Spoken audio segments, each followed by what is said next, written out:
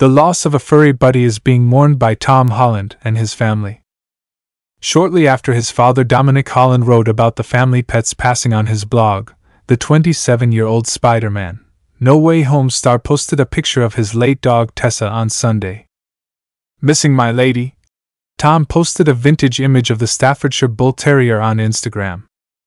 Along with his dad's post, he also uploaded a picture of Tessa on his Instagram story with the caption T Day. Dominic, 56, revealed that Tessa's ashes were dispersed under a tree that the family had planted in their front yard. Not exactly a memorial service, but rather a glimpse into the last moments of a remarkable small dog who had come to rule my family. In fact, she was the only Holland that everyone adored unconditionally. He wrote. When Tessa was a puppy and Tom was still living at home in 2014, they adopted her. Let me introduce you all to little Tess. With a picture of the puppy perched on his shoulder, he posted. The newest member of the family. On Instagram at the time. Tessa was raised by her father Dominic and mother Nikki when Tom walked out, along with his brothers Harry and Sam, who are both 25 years old, and Paddy, who is 19 years old. However, Tessa and the British actor stayed close, with him frequently taking her to red carpet events and film locations. He said to Time in 2017 that he loves her, she is an angel.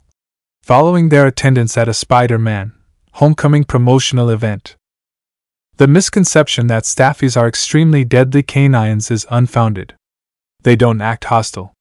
You will never meet someone as sweet and angelic as her.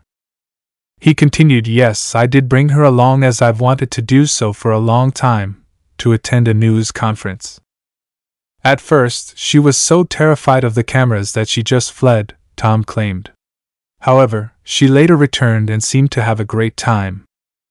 The Holland family's loss coincides with Tom's getting ready to perform in New York when his Broadway transfer of his current West End Romeo and Juliet revival takes place next month. Tickets for the February presentation of the London stage show sold out in two hours, despite receiving a barrage of disgusting racial hatred regarding Francesca Amewudah-Rivers's diverse casting as Juliet.